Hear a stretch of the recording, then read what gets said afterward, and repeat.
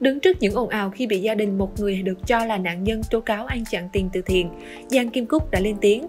Không chỉ nói về trường hợp của MTH, trưởng nhóm từ thiện tổ chức mai táng không đồng cho người tử vong vì Covid-19 tại thành phố Hồ Chí Minh, cũng như tâm sự về những áp lực mà cô và các cộng sự phải hứng chịu khi làm từ thiện.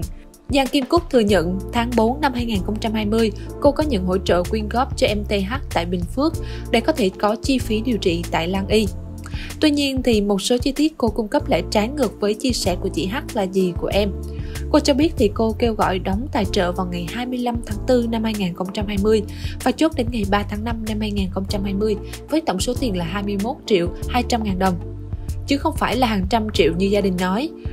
Đêm 21 tháng 4, Giang Kim Cúc đã trao 1,5 triệu đồng cho gia đình TH và số tiền còn lại là 19 triệu 700 ngàn đồng.